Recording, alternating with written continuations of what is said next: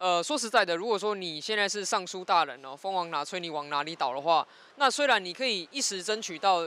人家把选票盖给你，可是这终究还是别人的票。就像那四年前用所谓民进党基本盘的支持去催票选上来之后，他四年后发现说，哎，这些票当中还是有一部分其实是别人的票。那他现在如果说追求连任，他往这所谓的中间，也就是说讨好浅蓝、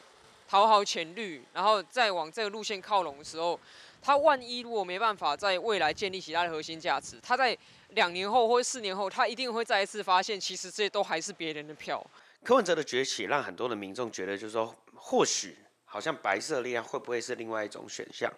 可是，在这几次的这个在柯文哲的这个台北市长任内这四年，大家可以看得到，就是说。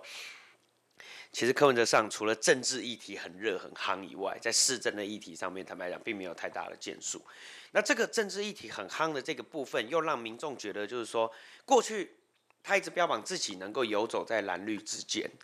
可是，大家现在慢慢的民众在看，在看柯文哲的一些举动，不管是小野的举措、妇联会的举措，还有他一些发言，特别是对很多的这个国际关系的这个部分的这样的一个评论，那这些部分，大家慢慢开始觉得，就是说，其实你好像不是。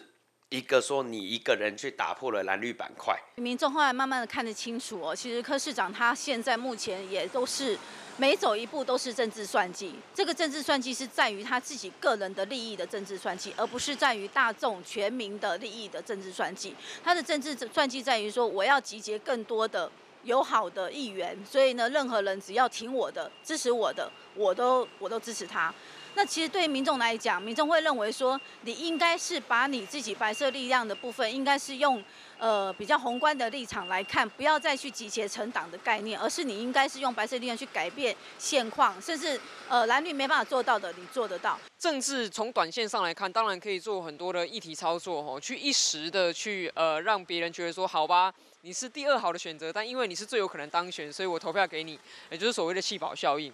可是哦，你靠着弃保选上之后，你还是要去重新考虑，说我今天旗帜鲜明的这个旗子到底要打的是什么？哦，那你要有了这个旗帜鲜明的旗子之后，你才能建立起一个所谓真正属于自己的盘。柯文哲选择的是一种比较犹疑的方式在走这样的一条路，所以他他的很多的选择里面，他不愿意表态。那到最后，其实民众会觉得说，不表态的人。不一定是占得了便宜的，模糊有时候是好事，但模糊有时候是坏事。那我认为选首都市长，他的政治理念必须要清楚。模糊对首都市长来讲，我觉得不适宜，可能是一个保护伞，但不是他的责任。他的责任是把很多的议题、他的理念讲清楚。我觉得这才是首都市长的价值。